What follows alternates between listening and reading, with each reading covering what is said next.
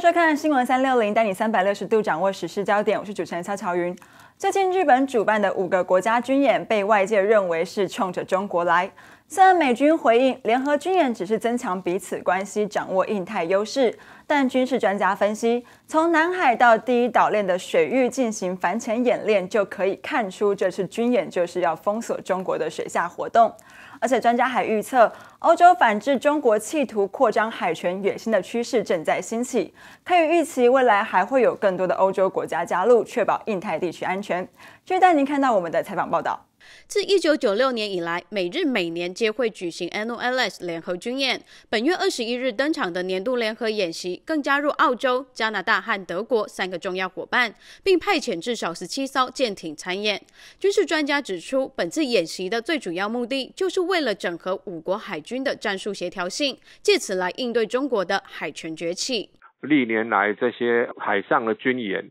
哦，它就不是有那么强的针对性，直到最近这将近六年来，我想它针对性就很明显了。一方面是应对日本前首相安倍的印太战略的一个倡议，那第二个就是二零一七年美国前总统川普就任之后，正式认定了印太战略，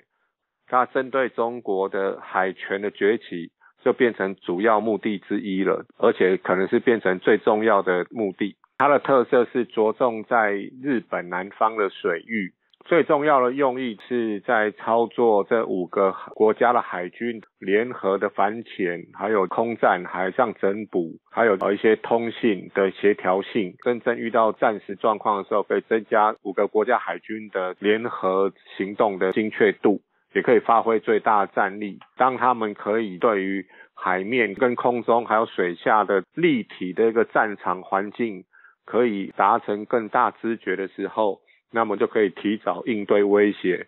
美日今年以速度举行联合演习，并对外表示军演的目的是为了增强彼此的合作关系。不过，这种说法中国显然不买单。辽宁大学研究员陈阳出面怒批，美日两国在南海搞事是亚洲版黑海挑衅，更认为美日反潜演习难以对中国构成实质威胁。我想中国方面他们的解读演习威胁不了中国某个程度，我是同意的，因为没有人要威胁他。和民主国家讲究的是自卫原则，那因为中国的军事力量快速的扩张，而且是错误的使用，才会逼使民主国家那个团结起来反制中共的武力威胁。包括早前六国的海上军演也是一样。第二个，他们有解读这是亚洲版的黑海威胁。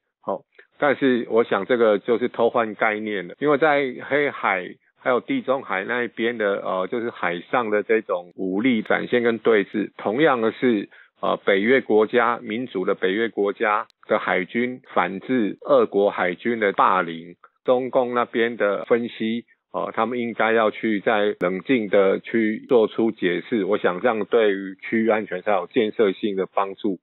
专家分析，北京已使自己陷入战略两难，外交上过于迷信枪杆子出政权与硬实力，反而促成了民主国家的团结。除了本次参与联演的德国，未来可预见会有更多欧盟国家参与印太地区的军演。今天的这种民主国家的团结，甚至从欧洲来的海军，包括德国、荷兰跟呃英国，以往都是很少呃参与印太事务的，那现在都是。认清中共的它的这种威权本质，那我想未来欧洲海军在参与哦，就是印太的安全事务会更为积极。那未来很可能意大利海军也可能会到印太区域来参与这种民主的防卫行动。维护印太地区的安全已是各个民主国家的首要任务。未来像这样多国参与的联合军演，有可能变成常态。记者黄信雅采访报道。美国除了在军演加强部署，美国海军学院近日的研讨会上也透露，美国国防部建议在关岛部署标准六型飞弹和陆基神盾来防御中国的高超音速导弹，认为这样更能够威吓中国及阻止中国。而许多军事相关的领域专家也指出，面对中国侵略成显学，印太地区的航行自由不断受到挑战的国际形势下，未来民主国家间合作强化印太区域安全的趋势将会越来越明显。如果对这一题有什么想法，也欢迎在底下留言告诉我们。新闻三六零，我们下次再会。